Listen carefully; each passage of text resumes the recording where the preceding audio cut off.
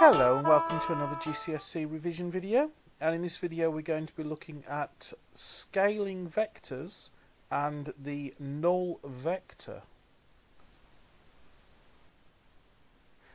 Now we know a variable that holds just one value is called a scalar. It's called a scalar because it can be used as a scale factor to scale up or down a vector. To scale up or down a vector, just multiply the components by the scalar quantity.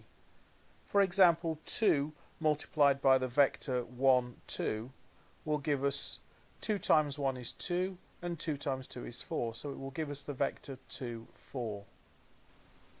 Now we know that when we add vectors, we just attach the tail of a vector to the head of the same vector. Now if we take a vector and add it to itself, we end up with a vector that's twice as big. So adding a vector to itself is the same as scaling it up by a factor of 2. We can generalize this concept by saying 2 times vector A is equal to vector A plus vector A where A can be any vector. In fact, we can even go one further and say that vector A plus itself plus itself plus itself n times is the same as scaling up vector A by a factor of n, or we can say it's n times vector A. And this works as well for fractions as it does for integers.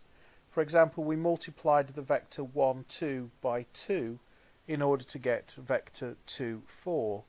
But if we'd multiplied vector 2, 4 by a half, we'd get back to vector 1, 2. So we can scale by a factor of a fraction just as easily as we can scale by a factor of a whole number. And in fact, we can do that with negative numbers as well. So negative 1 times vector 1, 2 would be equal to vector negative 1, negative 2. This has the effect of effectively having the arrow being the same magnitude but pointing in the opposite direction. Now here's a neat trick. If it's difficult to subtract vectors, if you don't remember to join the tails together and then draw the arrow from head to head and if it's difficult to remember which head you're drawing the tail from and what the arrow from then one way to clear up the confusion is to take the vector that you're going to subtract and multiply it by the scalar quantity negative 1 so you've effectively just flipped the vector and then you can just add the vectors like you would normal vector addition.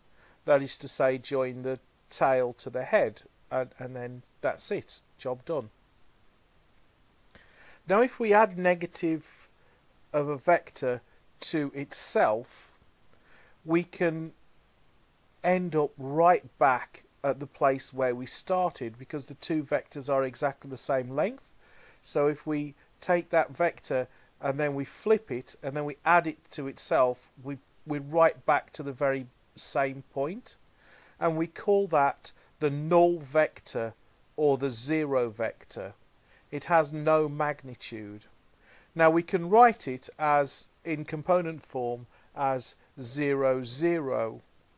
Uh, or we could just write it as a boldface 0 or we could write it as a 0 with an arrow across the top. In fact, any combinations of vectors that are added together and end up at the exact same place where they started will sum to the null vector. Okay, well so much for the theory. Let's have a go at putting this into practice. Can you scale the following vector by a factor of negative 1? Good luck with that. Pause the video when you're ready for the answer, just press play. Okay, so as you can see, the arrow is exactly the same size but pointing in the opposite direction. And in component form, if we multiply negative 1 by a vector 3, 4, then we'll get negative 3, negative 4.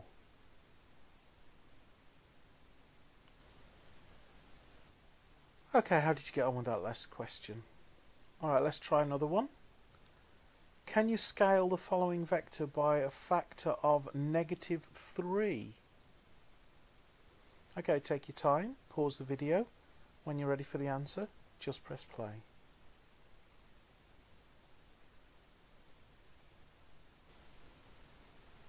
Okay, how did you get on with that one?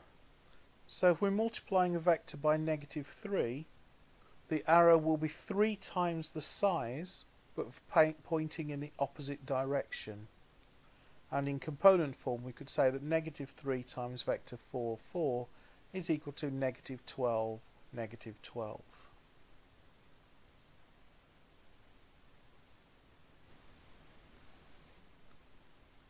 Okay, last question. What happens if we multiply 0 by this vector?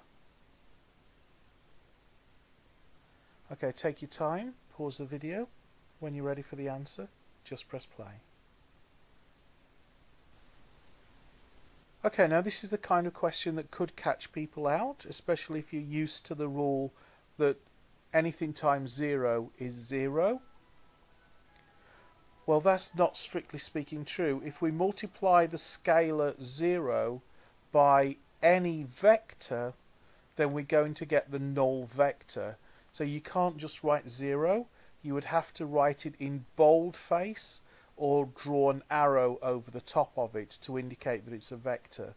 So the scalar quantity 0 multiplied by any vector is going to be the null vector, not the scalar 0.